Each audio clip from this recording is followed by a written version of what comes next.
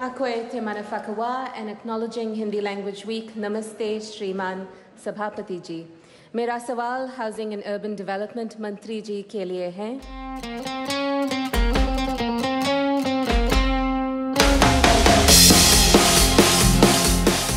Hi, I'm Priyanca Radhakrishnan. Priyanca Radhakrishnan on Monday became New Zealand's first ever Indian origin minister after the Prime Minister inducted five new ministers into her executive.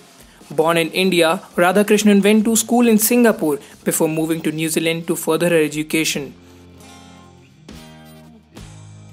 She has spent her work life advocating on behalf of people whose voices are often unheard women survivors of domestic violence, and migrant workers who have been exploited.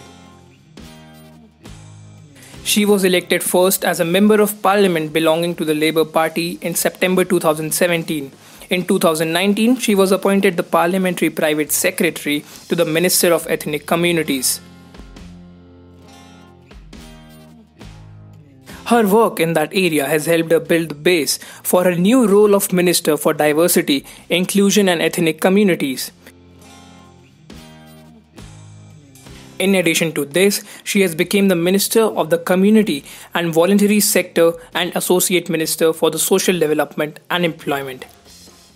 She has become New Zealand's first ever Kiwi Indian minister, the New Zealand Herald newspaper quoted Indian Weekender as saying, Radhakrishnan, who is from the 2017 intake of new MPs, is a minister outside of the cabinet. She lives in Auckland with her husband.